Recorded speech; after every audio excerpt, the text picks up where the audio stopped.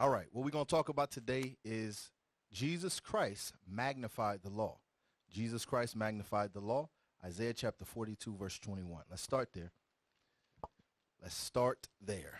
All right. Um, we need to go over this topic. Reason being, uh, a lot of our people, too many of our people, are under the illusion, disillusion, that Christ did away with the law, or he made light of the law and made provision for you in his death to do whatever it is that you would think is righteousness, what you think is okay or acceptable to God. And that's not the case. That's not the case. In fact, Christ came to teach you how to better teach all of us how to better keep the laws of God, which is righteousness, than we had previously before, say, uh, Jesus the Christ came as Jesus the Christ on earth. So in the time of the prophets, in the time of Moses, Christ came to teach us even more law than what we find in the Torah. All right? So let's start there. Isaiah chapter 42, verse 21. Uh-huh. The Lord is well pleased for his righteousness' sake. So the Lord is, and that Lord is all uppercase. That means the Most High God, right? It says the Lord is well pleased for his righteousness' sake. God. He will magnify the law. He will magnify the law. The he here is Jesus the Christ. He would magnify the law. So when he comes, right, this is a prophecy of Jesus the Christ. When he comes, Jesus the Christ would magnify the law. He would magnify the law, meaning what? What do we do with a magnifier? We make it large. We enlarge it. We make it more visible. The things that you couldn't see in it, he made it to where you can now see it. He explained the things more finely than Moses, more finely than the prophets. All right? That's why he came. Lo and behold, is not to do away with what God always told us we have to do. It was actually to teach us how to do it more perfectly. Let's get that in um, Matthew chapter 5 and 48. Real fast. All right? Matthew's 5 48. Matthew chapter 5, verse 48. Mhm. Be ye therefore perfect, even as your Father which is in heaven is perfect. This is Jesus the Christ. Jesus the Christ said, Be ye therefore perfect. What's the therefore? Go back up to, was it verse 17? Jesus the Christ, the black Messiah, he stated, Be ye therefore perfect. Watch this. Verse 17. Think not that I am come to destroy the law or the prophets. So Christ said, Think not that I've come to destroy the law or the prophets. What did the prophets teach us? They taught us the laws of God, the principles of the Most High God. That's what they taught us, right? So Christ himself said, Think not that I have come to destroy the law or the prophets, right? Read. I am not come to destroy, Mm-hmm. but to fulfill. But to fulfill, meaning to do exactly what they prophesied, not only of him, but also what, what they prophesied of the law, of the law and the covenant and the redemption of God's people, the blacks, Hispanics, and Native Americans. All right? Now, but jump back down. Now that we have some context of the therefore that Christ was talking about. So, because he came not to destroy the law or the prophets, read, Verse 48. Be ye therefore perfect, even as your Father which is in heaven is perfect. Christ himself said, Be ye therefore perfect, just like God in heaven is perfect. He says nothing different than the prophets. All right. Let's jump over to uh, 2 Peter chapter 1. And we're going to read, we're going to do a little bit of reading. We're going to read from 1 to 8 first, and I want to kind of dissect that a bit. All right. Read. The book of Second Peter, chapter 1 and verse 1. Read. Simon Peter, a servant and an apostle of Jesus Christ. So this is a servant and an apostle of Jesus Christ. So Peter was taught by Jesus the Christ. He's the chief apostle, right? Read. to them that have obtained like precious faith with us through righteousness of God and our Savior Jesus Christ. Read it again. Simon Peter, a servant and an apostle of Jesus Christ, to them that have obtained like precious faith with us through the righteousness of God and our Savior Jesus Christ. Read. Grace and peace be multiplied unto you through the knowledge of God and of Jesus our Lord. Read on. according as his divine power has given unto us all things that pertain unto life and godliness. All right, so what are we talking about? All things that pertain unto life and godliness. Those are the things that Christ came here to do. And what did he come to do? We read it in Isaiah chapter 42, verse 21. He came to magnify what? The law. The law. So these are the things things that pertain uh, that were given to us that pertains to life and righteousness. Read on. through the knowledge of him that have called us to glory and virtue, And who is that? Read. whereby are given unto us exceeding great and precious promises, Uh-huh.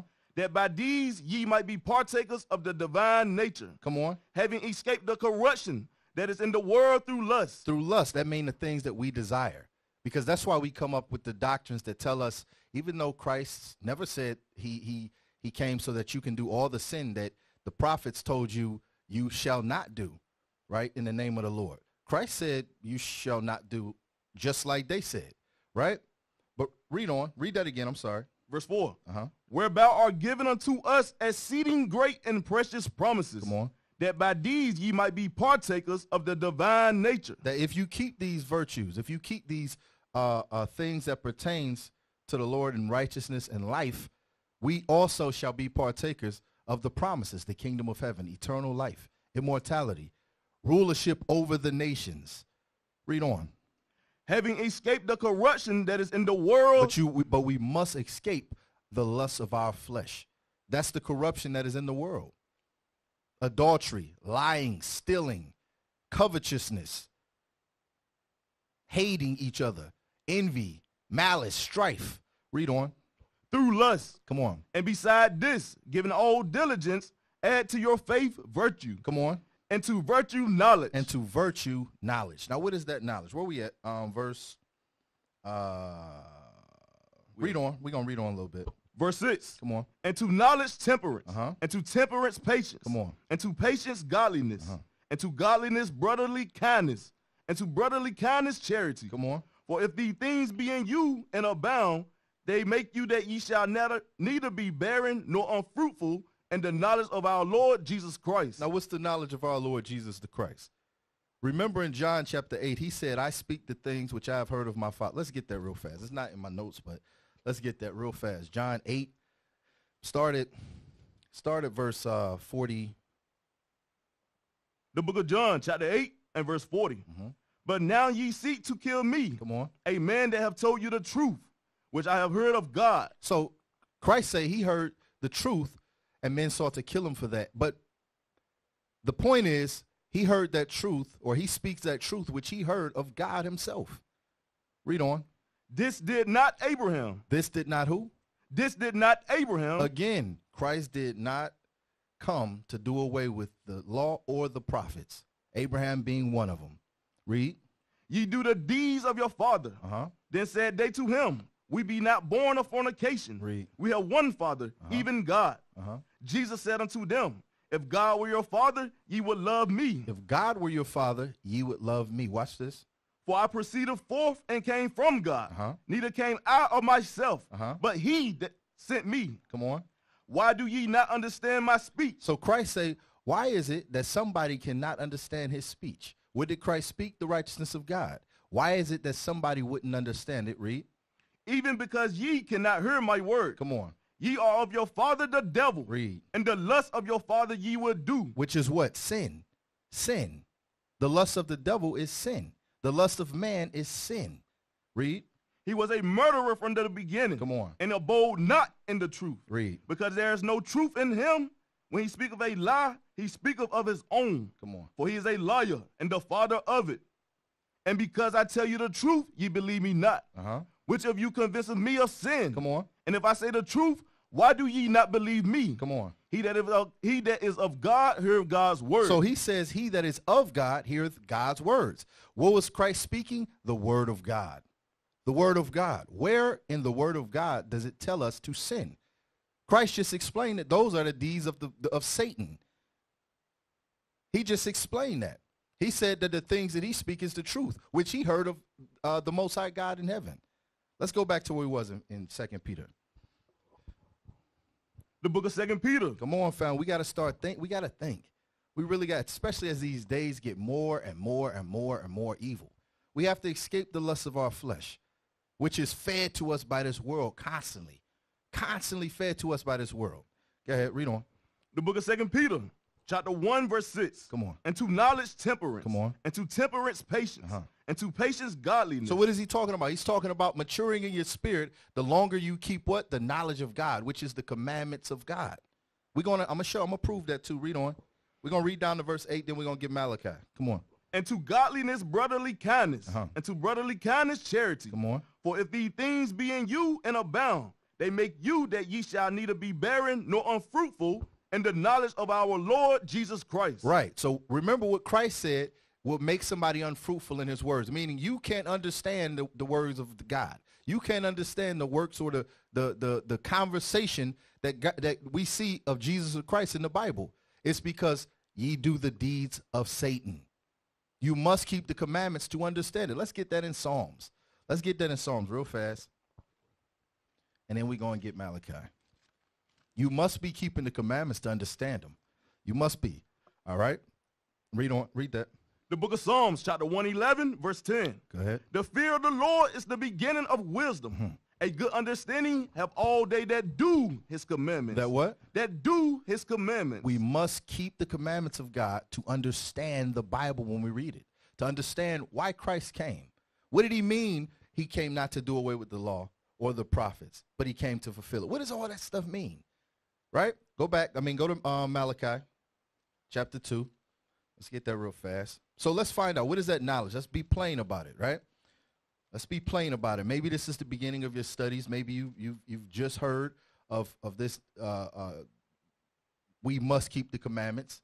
All right, that are listed throughout the Bible, not just here or there, right? Because we see Christ address the the two great commandments, and we think that he's talking about uh, something other than the commandments of the Torah, the commandments of God throughout the Bible, and he's not. He's abbreviated them in those two commandments. Just as we're reading in second peter just as we read in matthew's when he told you himself he didn't come to do away with the law or the prophets. But for some reason we've been taught and we believe that christ came and did away with the law. Makes no sense. All right read that what's this knowledge that we keep reading about go ahead Malachi chapter 2, verse 7. Uh-huh. For the priest's lips shall keep knowledge. come on And they shall seek the law at his mouth. So what is the knowledge? The laws of God.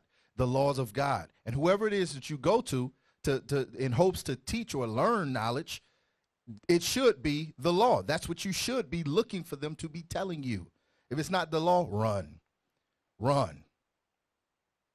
Run. All right? Uh, go back to where we was in first in second Peter, I'm sorry, chapter two. And we're gonna read on from nine, a few more verses there. And then we're going to get some examples of Christ magnifying the law. Let's understand what that meant. Let's understand what he's going into with that. Go ahead. Second Peter chapter 1, verse 9. Uh-huh. But he that lacketh these things is blind. But he that lacketh these things are blind. The lacketh what? The brotherly love, kindness. A lot of us are, and our people are too evil and malice and, and, and malicious to even sit down for a minute and hear somebody out. So y'all, it, it- you can't even you you you can't get to step one. uh, A lot of our people, we were taught that through slavery. The people who spoiled, the people who destroyed our nation, they taught us how to murder each other by what? Murdering us. They taught us how to hate each other by what? Hating us to this day. And those are the, the nature and the behavior that we take on to ourselves. We got to stop that and we have to be patient. We have to seek the truth without, the, without mingling it with the lusts of our flesh. All right? Read on. and could not see afar off, Uh-huh. and have forgotten that he was purged from his old sins. Uh-huh. Wherefore the rather, brethren, give diligence to make your calling and election sure. Read. For if ye do these things, ye shall never fail, Read. fall. Read. For so an entrance shall be ministered unto you abundantly into the everlasting kingdom of our Lord and Savior Jesus Christ. That's what happens. That's what happens when we keep the knowledge of God, which is the commandments of God. That's what happens. The laws of God is the knowledge of God. You're reading about that in the New Testament. Christ did not come to come to die on the cross so now we can be stupid and evil. He came to magnify knowledge. Now let's get that Hosea 4 and 6 first and foremost. Let's set the tone with this. Why are our people destroyed? And we think that we're not. We go to because we we can go to church and buy a a, a, a, a, fancy costume. Most of us call a suit nowadays. And not to insult anybody, but just to put things into context. All right, uh, we can we can go buy a suit and and and go into a building and um, nobody necessarily teaches us about what's written in the Bible, and we think ourselves something by doing that. And namely, those are the only qualifications that, that deem you fit or, or worthy of eternal life. Rulership of the a king is not dumb. A king is not weak. A king is disciplined and wise, has great knowledge to judge the entire world. That's what a king is. But for some reason, we Christ came, died on the cross so we can be dumb and undisciplined, evil as hell. That makes no sense at all. But it's what we accept in Christianity. We accept that as a, as a, as a motive of Christ. All right, for some reason. Uh, where we at? The book of Hosea. Hosea chapter 4 and verse 6. Come on. My people are destroyed for lack of knowledge. Come on. Because thou hast rejected knowledge. So our people are destroyed for a lack of knowledge. Right? What knowledge is that? Thou shalt not kill. What do our people do? We kill. We are murderous, malicious, hateful, evil uh, uh, people. That's what we are. That's what we do. To our to ourselves and each other. That's what we do. This is the knowledge that we are destroyed by. We complain about these other nations killing us and all that. Yeah, that's that's bad too. But you can't complain about somebody else if you're doing it to yourself. You can't complain about somebody else being evil to you if you're evil to yourself. You can't do it. Come on, my people. We got to wake up. This is foolishness. But this is the knowledge that we lack that destroy us. God said, Thou shalt not kill. God said, Thou shalt not steal. What our people do? We rob each other. We kill each other to steal from each other. That's what we do. Thou shalt not commit adultery. What do we do? We commit adultery. We name ourselves Mr. Steal Your Girl. We make the other nations millions by making songs, singing and rapping to each other, calling each other bees and hoes, niggas and all type of words. And we, we, we, for some reason, we think that Christ came, died on the cross, so that that can be okay. It makes no sense. And because we accept that as knowledge, we are destroyed. Because the knowledge that God said we are to have is the knowledge of the laws. Thou shalt not. And those laws require discipline. Christ came to show us how to walk and live a disciplined life full of wisdom and knowledge. That's what you read in the Bible. Let's let's finish that and then let's get some of these examples of Christ magnifying the law. Because thou hast rejected knowledge, I will also reject thee. And that's why we're still here in captivity in Babylon the Great. That's why. Because we reject the knowledge of God. We still got thou shalt not kill, we kill. Thou shalt have no false images. What we do, we put a white Jesus that we all know. We all know Christ ain't a white man, but for some reason we put that idol. We put. We all love the cross. We all love to wear the cross, tattoo it all over us, hang it on the walls in our house and in our churches. We love to do that. Even though God said don't, we love to do it. And he said, I'm going to destroy you because you will not stop. You will not stop. So as you pray to the Lord or you ask or you question God and why he allows these things to happen to our people, it's because we lack knowledge. And even when we learn it, we don't want to discipline ourselves to follow it. And that's why we are continuously destroyed as a people. Read on. Was that it on that?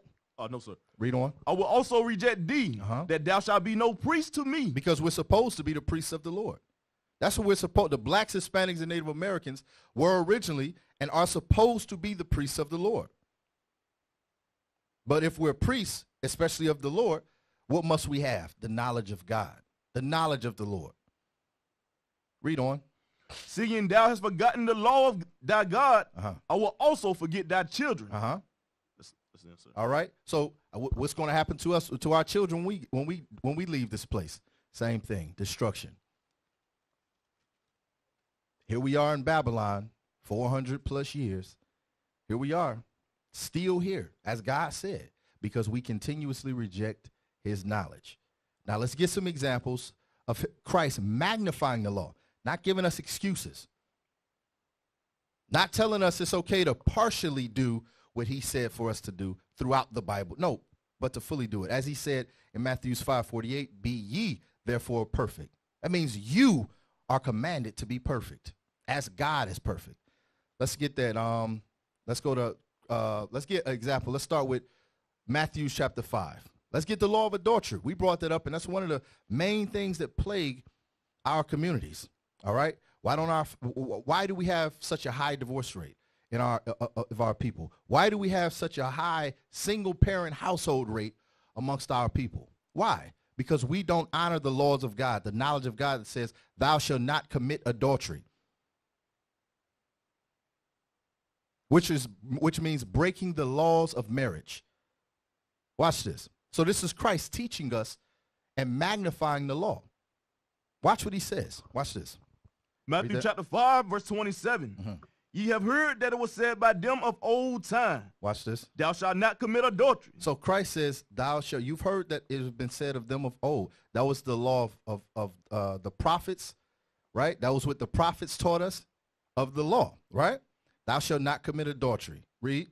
But I say unto you that whosoever looketh on a woman to lust after her, Uh oh. Christ said, "Hold on." He says, "Whoever looketh on a woman to lust after." This is before the act, the physical act. He said, "Whosoever looketh upon a woman to lust after her." Come on. have committed adultery with her already in his heart. Christ said you've already done it. Why? Because you didn't purge your thoughts like we just read in Second Peter. You didn't purge and escape the lust of your of this world in your mind. You allowed it, therefore it became the physical act. This is Christ magnifying the law. Nowhere do you find it's acceptable for us to break the commandments of God and then blame it on Jesus coming to die. Nowhere do you find that in the Bible. Read on. 29. And if thy right eye offend thee, pluck it out Uh-huh. and cast it from thee. For it is profitable for thee that one of thy members should perish, Come on. and not that thy whole body should be cast into hell. Right. Go back up to uh, verse 20, verse 19. Or is it 20? Verse 21. Or jump down. Yeah, 21. Watch this. Verse 21. Ye have heard that it was said by them of old time, Uh-huh. Thou shalt not kill. Now, now what is Christ talking about? First, he addressed killing, right? Which adultery is also a very malicious act. Adultery, more, more times than none, destroys the life of not just those two individuals, but an entire generation. These are the things that Christ, this is Christ magnifying the law. He's, he's, he, he- uh, he's at the root of the issue, which starts in your mind. Go ahead, read on. And whosoever shall kill shall be in danger of the judgment. Read it, read it again from the top. Verse 21. Mhm. Ye have heard that it was said by them of old time, Read. Thou shalt not kill. Uh-huh. And whosoever shall kill shall be in danger of the judgment. Uh-huh. Watch What? this. We've all heard that. Thou shalt not kill. Right? That's one of the Ten Commandments. We know that. Right? Watch this. But I say unto you that whosoever is angry So Christ says, but I know y'all heard that, but I say unto you. Right? Watch this. that whosoever is angry with his brother with So hold on. Where's anger? That's an emotion. Again, what is Christ doing? He's magnifying the law. He's telling you where that act of murder, of killing, started. In anger. That's in your mind. That's in your spirit. That's in your heart. That's where it started. This is Christ magnifying the law. We read this. I tell you what, man, in Christianity, we read the Bible with, with our eyes wide shut because Christ explained this is very, very, this is very plain. The only way you would mistake it is if you don't want to do the laws of God to begin with. If you see no value, no profit in the laws of God to begin with, that's the only way you could just read past this and jump and think that we can break all these laws and, and, and, and, and commandments and wisdom of God. Watch this. Read on. That whosoever is angry with his brother without a cause Uh-huh. shall be in danger of the judgment. What judgment? The judgment of death, the judgment of murder, like he just addressed. Like he just addressed. But what did Christ what did Christ address? The root of the problem. Watch this. James chapter 4, verse 1. James chapter 4, verse 1. This is where he taught his apostles. He taught his apostles, no, deal with the root of the problem, the root of the sin, not what you see in the flesh. No, no, no, no. That had to start somewhere. It had to start somewhere. And this is the wisdom, the knowledge that Christ brought to us before to, to help us and guide us from sin itself. When you identify it in your spirit, in your mind, you say, Nope, that's I know what that is. That's I, now I'm angry. And why am I angry? Because I like my brother's car and I don't I want it and I hate him so. I don't think he should have it. And I, it's this feeling in me. But Christ identified it. He addressed it. I don't have a cause to feel that way about him. So that means what? I'm evil. I have to stop. Not after I murder my brother or steal from my brother or say something evil to my brother or set him up with some evil like that, because this is all that happens in our communities. No, before all of that, I check myself. I correct my own spirit. That's Christ magnifying the law. That's why he came. Read that. James chapter 4, verse 1. Read. From whence come wars and fightings among you? So he says, so whence from whence come wars and fightings among us? Where do those things come from? Watch this. Come they not hence, even of your lusts that war in your members? It said, all this stuff that y'all go through, that y'all do in your communities, adultery, rape, murder, stealing, killing, all these things, where did they start? In your members, inside of your mind, inside of your spirit. That's where they started. Just like Christ is addressing. Just like Christ is addressing. He came not to do away with the law. He came to fulfill it. And when he would come to fulfill the law, he would magnify it, leaving us without an excuse. Finish that and then go back.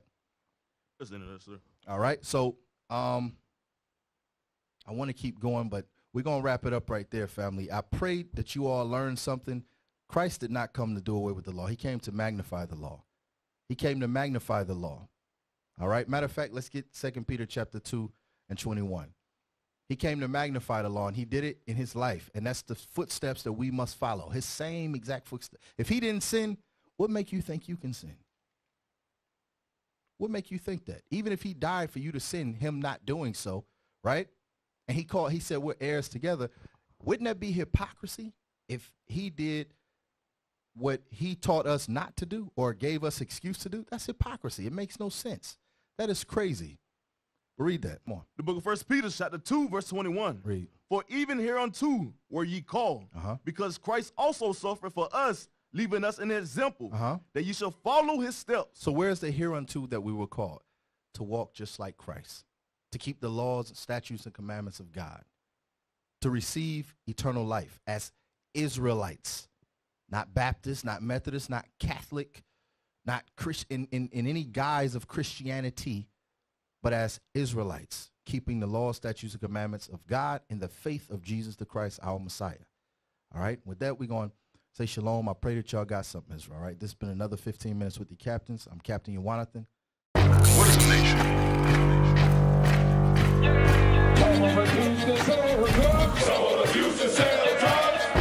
Nation is men leading by example.